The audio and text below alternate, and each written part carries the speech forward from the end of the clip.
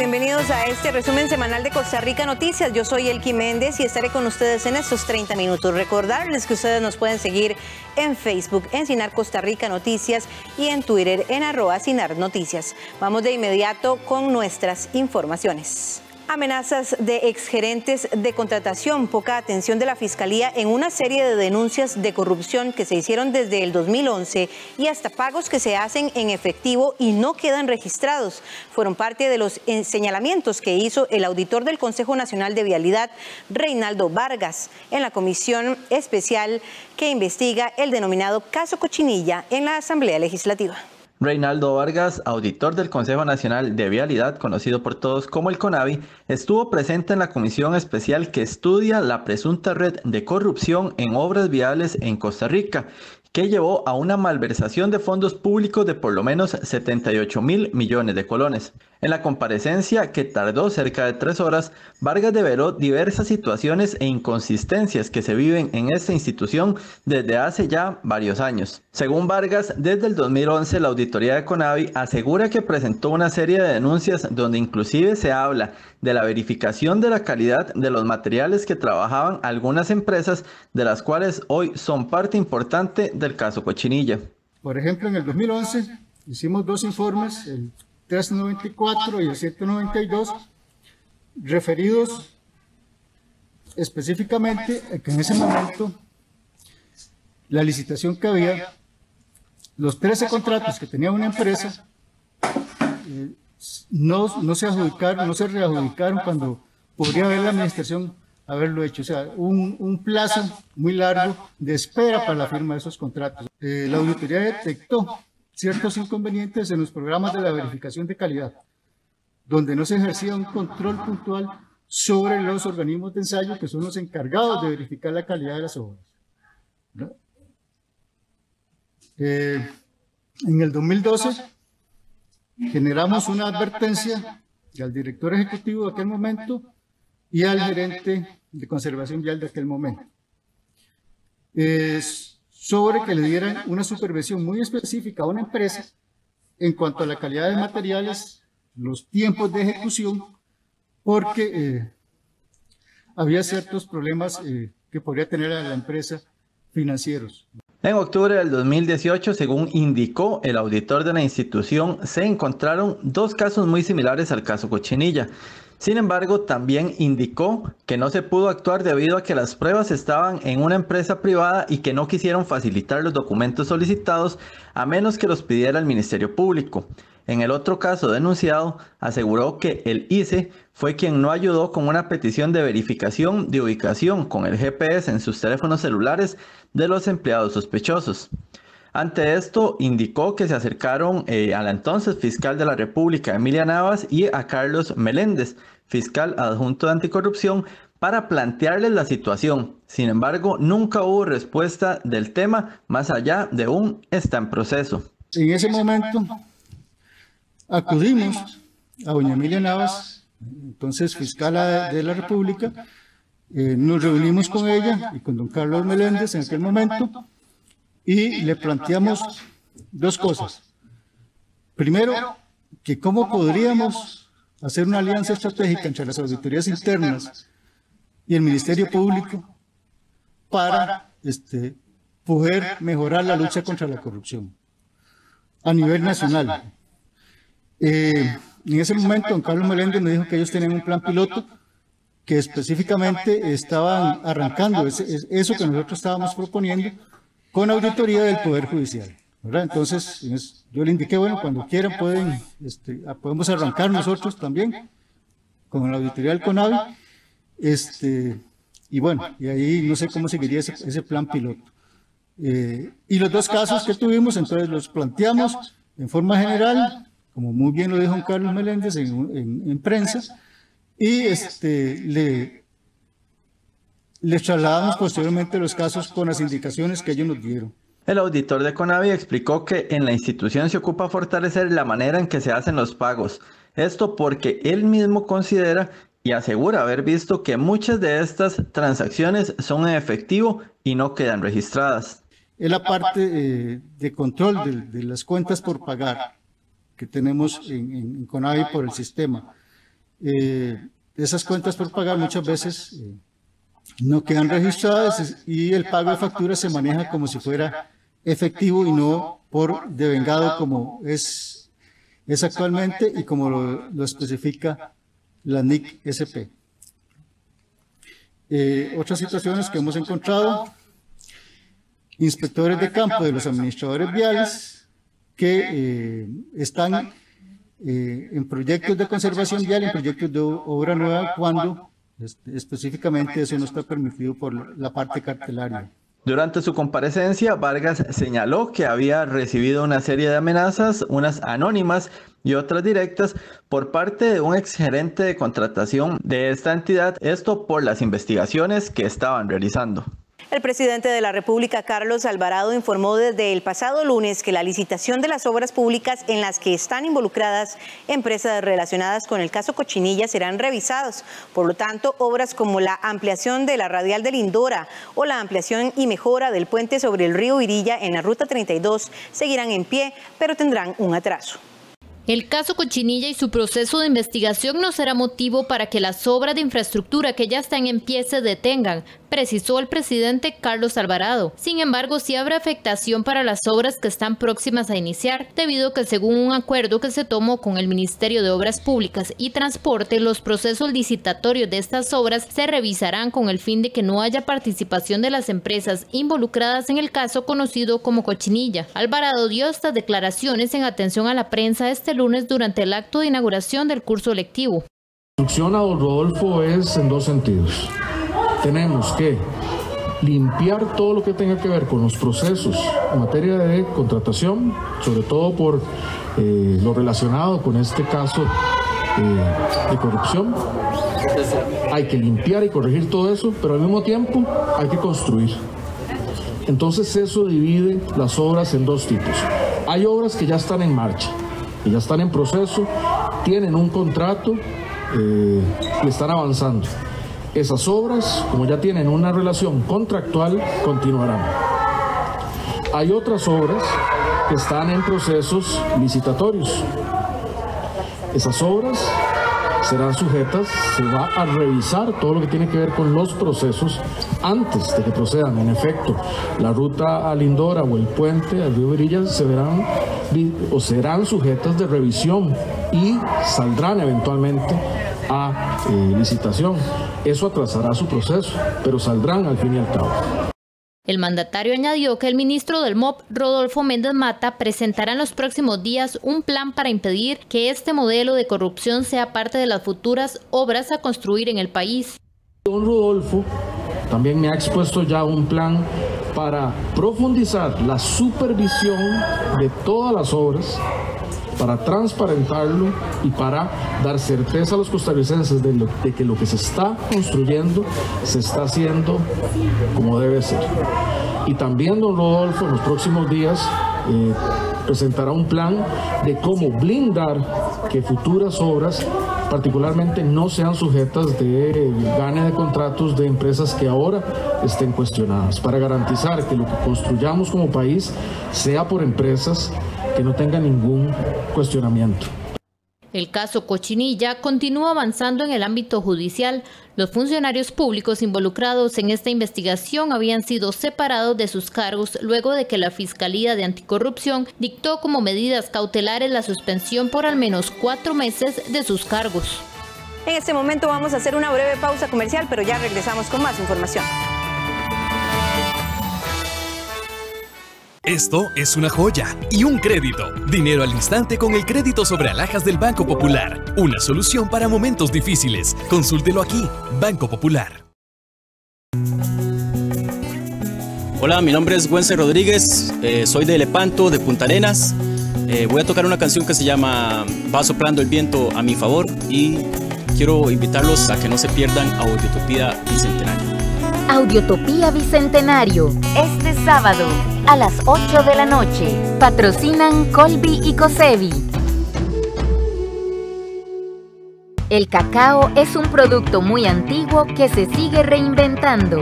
Esta semana en Economía Creativa Conozca el desarrollo de la industria chocolatera en Panamá. Cada vez que me levanto y empiezo mi día con una taza de chocolate es como, wow, el mundo es grande, especial para todos. Desde lo comercial hasta el ámbito gourmet. Economía creativa. Domingo 18 de julio, 8 y 30 de la mañana. Por 13. Costa Rica Televisión. En el siguiente capítulo de Camino al Desarrollo presentaremos el programa Transformando Comunidades del Banco Nacional de Costa Rica y su aporte a los proyectos de las comunidades pesqueras del Golfo de Nicoya. De un pescador es difícil.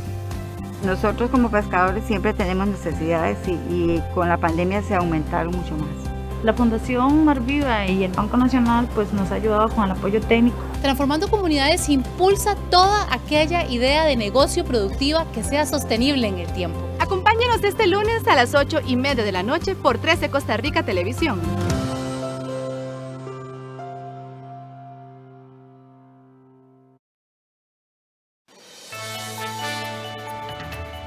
Otón Solís renunció a ser el representante de Costa Rica ante la Organización para la Cooperación y Desarrollo Económico OCDE.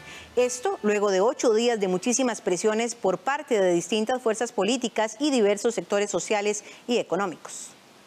Tras las fuertes críticas durante la última semana, el economista Otón Solís decidió declinar su nombramiento como representante de Costa Rica ante la Organización para la Cooperación y Desarrollo Económicos, conocida como la OCDE. La decisión fue anunciada este miércoles en una carta dirigida al presidente de la República, Carlos Alvarado, a eso de la 1 y 30 de la tarde. Solís habló con Costa Rica Noticias y fue sumamente crítico del actuar de los diputados y explicó por qué tomaba la decisión. Dos días después, menos de dos días después, eh, surgieron eh, las amenazas en el Parlamento. Yo le dije al presidente, aquí el puesto mío es lo menos importante. Y él sabe que, que, lo, ha, tenido a disposición. Eh, bueno, ¿por qué la decisión? Porque estos diputados han mostrado ya que no importa si hacen un daño al país, si con eso pues eh, dañan al gobierno. Eh, hace unos meses dejaron de aprobar unos créditos externos y por dejar de aprobar esos externos, créditos externos baratísimos, el país está pagando 20 millones de dólares más por año y va a ser así por 10 años. Entonces, demostraron ya de, de, que en aras de sus fines políticos son capaces de, de dañar al país y, y, bueno, si hay un arma para evitarlo y, y si el arma era mi renuncia, pues a, hay que hacerlo, porque, porque el país debe estar primero siempre. Si uno, ¿Para qué se mete en política si no tiene claro que el país está primero? Ante la salida de Solís y también los fuertes señalamientos a los diputados, estos celebraron la decisión, pero lamentaron el tono utilizado por el fundador del Partido Acción Ciudadana. Lamentamos, eso sí, el tono empleado por el señor Solís en su nota de renuncia, donde se victimiza y le endilga responsabilidad a la Asamblea Legislativa. Cuando la Asamblea Legislativa no es la responsable de haber hecho un nombramiento al margen de la legalidad. Celebro la decisión sensata de don Otón Solís y espero que esto sea el ejemplo para que el gobierno entienda que se necesita de más diálogo, de no dinamitar puentes, de entender que el sector productivo necesita apoyo y no solo los caprichos de Zapote, entender que este Congreso y esta oposición está dispuesta a colaborar en la medida en que podamos apoyar a todos y no los caprichos de unos cuantos. No me queda más que señalar que don Otón Solís saca al presidente Alvarado y al gobierno de un entuerto innecesario. Desafortunadamente y muy fiel a su estilo, don Otón Solís llevó un desgaste innecesario. A ese triste estilo nos habría expuesto en la OCDE. Se salvó Costa Rica de este escenario y me parece que es un espacio necesario para recordarle al señor presidente su responsabilidad de construir confianza entre la ciudadanía, sectores y fuerzas políticas.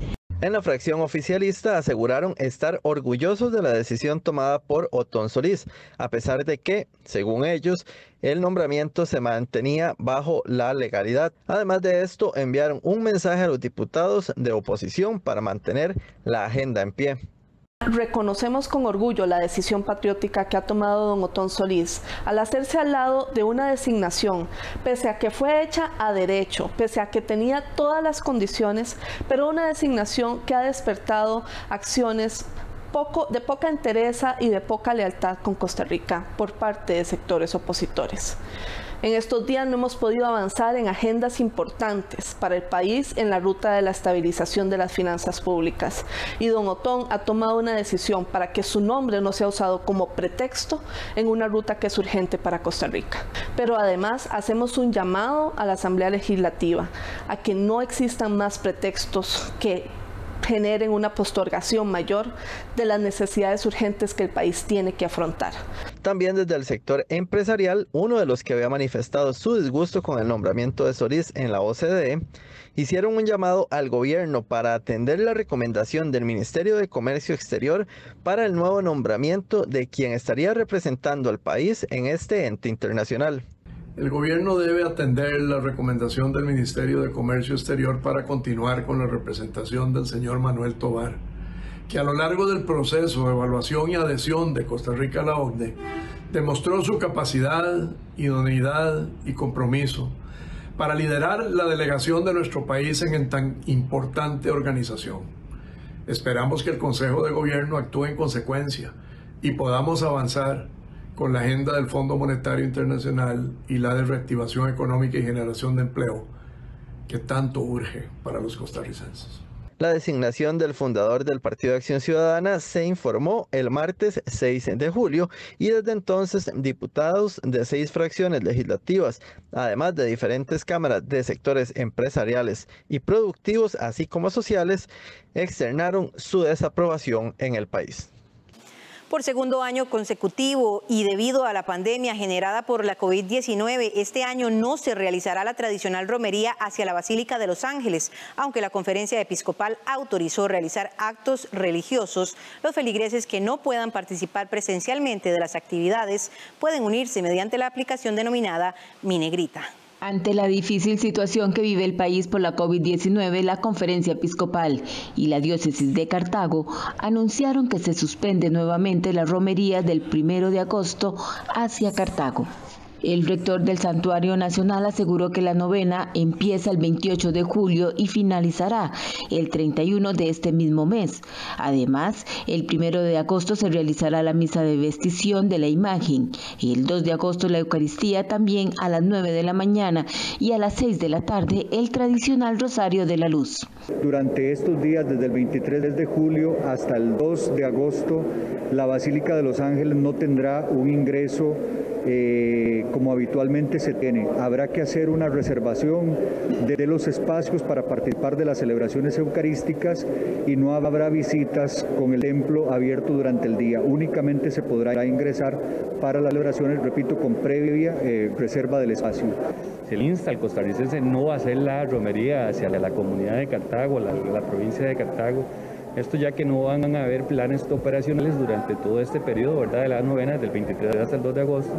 No van a haber puestos de carretera por parte de la Cruz Roja costarricense, pero sí estaríamos pendientes con los recursos ordinarios a responder en caso de una emergencia. Entonces lo que hacemos es tratar de convencer a la gente, de informarla debidamente, de anticipar cualquier circunstancia, de mantenernos en estrecha comunicación con las autoridades de la iglesia, con las autoridades del tránsito, con las autoridades de Cruz Roja y de cualquier otro tipo de institución y eh, con ellos igualmente pues buscar generar las condiciones para que no se comprometa la salud de absolutamente nadie.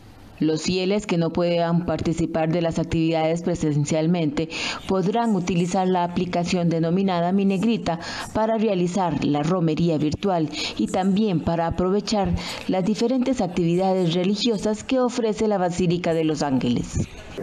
Eh, busca la aplicación Minegrita y la descarga.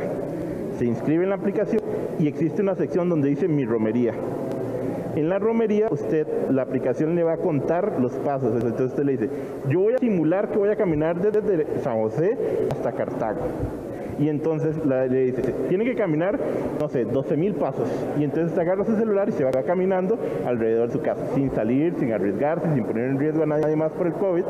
Y le ofrece a la negrita esa caminada. Los cartagineses congeniaron con las autoridades eclesiásticas sobre la suspensión de la romería. Pienso que está perfecto. Sí, desde luego, porque debemos asistir a los actos litúrgicos, ¿verdad? Y participar y que sean transmitidos por televisión, que es como la mayoría del país los ve. Bueno, me parece algo, tengo entendido de que, que viene a diócesis de, cada, de cada, perdón, de cada pues, región. Digamos, viene la diócesis de Perceledón, Tilerán, pero solo, solamente, digamos, ellos, eh, por el aforo. Pero sí, no, me parece bien. Durante la novena, la pila de agua bendita y la piedra del hallazgo permanecerán cerrados al público. Hacemos nuevamente una pausa, pero ya regresamos con más.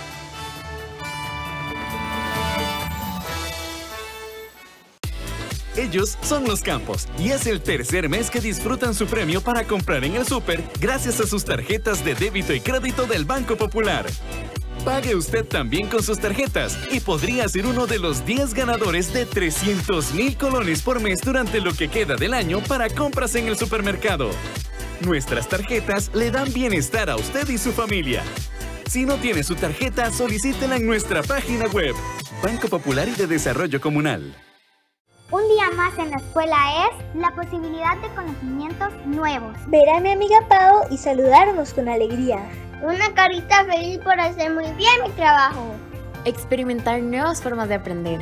Decirle mamá a la maestra sin querer. Una alimentación sana y deliciosa.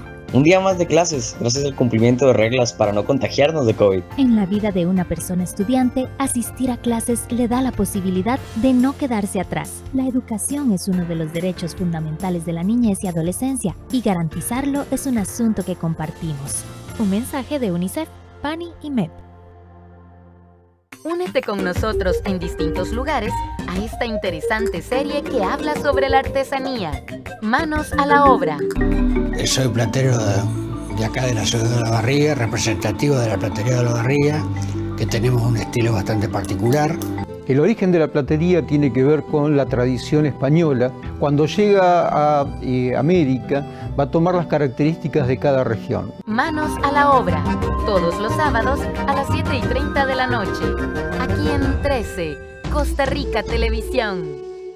Catalina Escobar ha decidido dedicar su vida a ayudar a las madres adolescentes de su natal Colombia nosotras las madres adolescentes quedamos embarazadas, eso es como si el mundo se nos cayera. No hay colegio, no hay oportunidad, se acaba todo. Todo esa, ese aprendizaje de, que decía mi papá, no se nos olvide que fuimos pobres, no se nos olvide que fuimos pobres, pues uno le va calando. Esta y más historias de vida en Fuerza Latina, domingo 18 de julio a las 2 de la tarde, por 13, Costa Rica Televisión. Tras ocho semanas de pausa el pasado lunes, las escuelas y colegios públicos retomaron el curso lectivo. Si bien algunos estudiantes se mostraron felices con el inicio de este segundo periodo, las autoridades se mantendrán en alerta estas primeras semanas para asegurarse de que cerca del millón doscientos mil estudiantes matriculados continúen su proceso formativo. la verdad es que es como un reencuentro hacia la educación, aparte de la pandemia al estar uno como muy encerrado, así uno se siente como un poquito oprimido y a pesar acá uno viene a aprender más, le explica mejor y uno se siente de, al socializar más, claro, con su vida de distancia y todo y, se siente muy bien estar en el colegio. Sí, sí quería volver porque em, es en la pandemia uno... Eh, lo que más quiere es estar con los amigos y esto de que irnos para las casas ha sido como que muy feo porque hemos estado distanciados socialmente y no hemos podido socializar más. Sí, porque es la vibra que uno siente al estar con los compañeros, con nuestros profes, con todos. Estos son solo tres casos de estudiantes que tienen como denominador común la satisfacción por retomar el proceso educativo luego de una pausa ampliada de ocho semanas. Al igual que Kenneth, María y Clara, cerca de 1.200.000 alumnos retomaron el curso lectivo este lunes. Para este segundo semestre se mantendrán las medidas de salubridad ya conocidas, como el distanciamiento de 1.8 metros entre alumnos, lo que a su vez obliga a mantener el modelo combinado de presencialidad y a distancia. Se estima que 5.359 escuelas y colegios iniciaron la mañana de hoy con el curso lectivo y que al menos 60.000 educadores ya cuentan con la primera vacuna contra la COVID-19. Como parte del proceso de retorno a las aulas, el ministerio aseguró que mantendrán encendidas las alarmas para asegurarse de que la mayor cantidad de estudiantes se incorporen al proceso educativo. Víctor Orozco, director regional de Cartago, explicó que las alertas se generarán a través de las unidades de permanencia y unidades de orientación de cada centro educativo.